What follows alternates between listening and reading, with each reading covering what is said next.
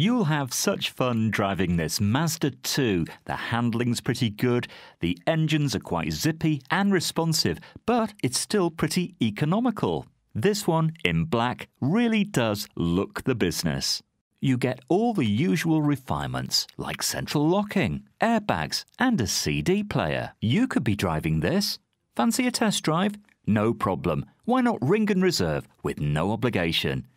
It's another great car at Fords of Winsford.